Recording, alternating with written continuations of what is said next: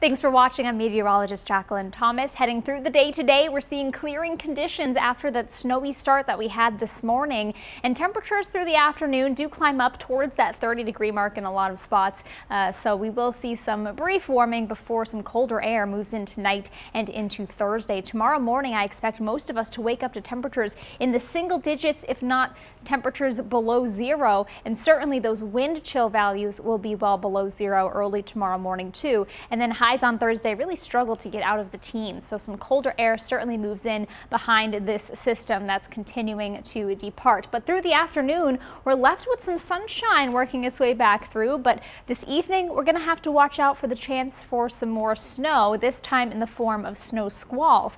That's going to come through with a cold front that pushes its way across the region. And that's going to bring, uh, you know, the snow squalls cause the conditions to really quickly change and deteriorate. So you're going to want to keep that in mind for the evening commute. If you are going to be out and about, just keep that in mind so that you're not caught completely off guard because again those can come through uh, pretty quickly. As we get into Thursday we're going to see a decent amount of sunshine and quiet weather as we end out our week both Thursday and Friday. So today some sunshine returns through the afternoon just watching out for those snow squalls this evening with that cold front and then temperatures really drop back behind that front tonight into the single digits. A lot of spots tonight drop back down below zero. Those wind chill values up to 20 or 30 degrees below zero off to the north where we have that wind chill advisory in effect. So very cold heading out the door, especially early tomorrow morning, uh, but at least dry conditions to end our week.